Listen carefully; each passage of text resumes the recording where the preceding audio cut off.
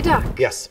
Why do you think fasting has become so popular over the last couple of years? If you look at this way, if I tell a person, say, listen, I want you to reduce your calories, there's really no plan to that. You can, you can, yes, you can write a food plan, things like that, but we have emotions. And so therefore, when we start eating, does anyone ever notice this? That sometimes you'll even say, okay, I'm only gonna have this much food, but then you start eating, you can't stop. Mm. It's like this. People say, Doc, why don't you just have one Oreo? There's a little bit of chemicals, stuff of this. I think your body can handle it. Why don't you do it? Because I just wouldn't eat one Oreo.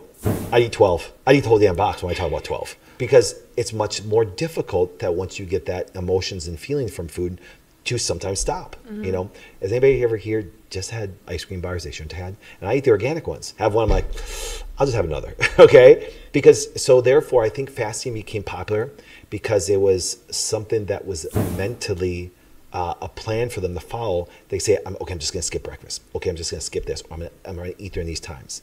But the end result of fasting, and I know it's become kind of like a religion, fasting still accomplishes calorie reduction because they've actually done studies that if you eat the same amount of calories in just a shorter time period, they still do the same weight loss of a person that just divides up through the day. Hmm.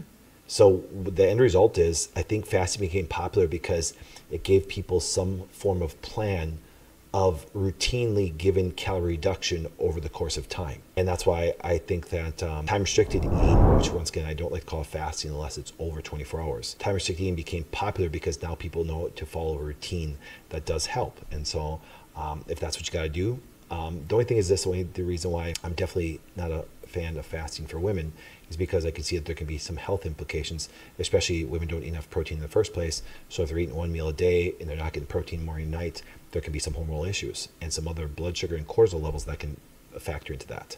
So, but that's a whole nother discussion.